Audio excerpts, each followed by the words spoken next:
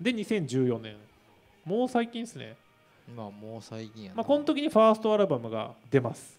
メジャー。うん。大変やったな。そうっすね。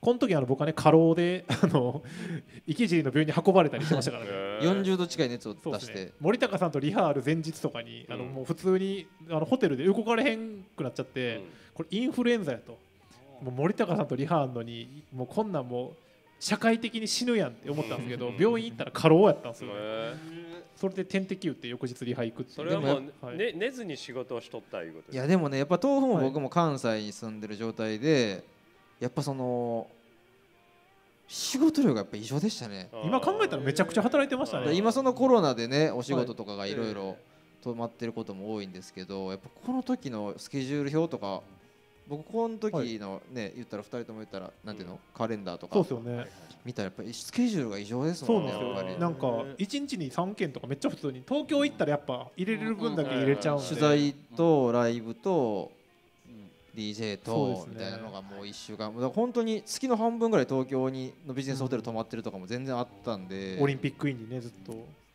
ただもうドヤじゃなくなってますよねこの時ぐらいからはね。もちもちろんもちろんもちろん。ずっと僕は上野とかのドヤに泊まったのがこの時ぐらいにはちゃんと卒業してますね